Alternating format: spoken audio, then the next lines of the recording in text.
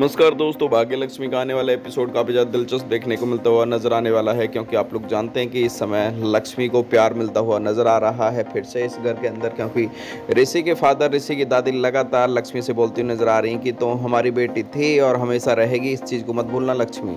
लेकिन दोस्तों, वहीं मलिश का लगातार प्लान पर प्लान बनाती हुई नज़र आ रही है कि आखिरकार लक्ष्मी के लिए क्या नया प्लान तैयार करना चाहिए? क्योंकि लक्ष्मी को गिराने के लिए कोई इतना गिर सकता है तो ये तो किसी ने सोचा नहीं था। दोस्तों, आप लोग जानते हैं कि इस समय सभी लोग हैरान नहीं, बल्कि सबसे ज़्यादा परेशान भी नज़र आ रहे हैं और परेशानी का रीज़न भी आप लोग जानते ही होंगे।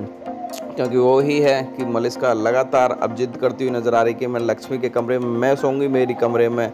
लक्ष्मी सोएगी ताकि ऋषि के नज़दीक रहा जा सके। लेकिन दोस्तों, ऋषि के नज़दीक अगर कोई था तो वो लक्ष्मी थी और ऋषि खुद आप जान के मलिश्का को अपने साथ और उसके नज़दीक भी नहीं रहना जानता। जी हाँ क्योंकि ऋषि का मानना यह है कि मैं किसी भी तरीक़ा से मलिश्का के नज़दीक नहीं रहूँगा, क्योंकि चाहे कुछ भी हो जाए। एक अटैचमेंट जो है ऋषि की वो लक्ष्मी से है, ना कि मलिश्का से। क्योंकि मलिश्का वो एक गद्दार है वो वाकई में अपनी हेरा फेरी के अलावा कुछ नहीं कर सकती है।